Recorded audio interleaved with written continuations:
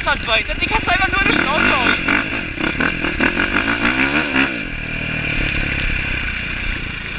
Willst du nichts anderes taugen, einfach nur so ein bisschen hoch.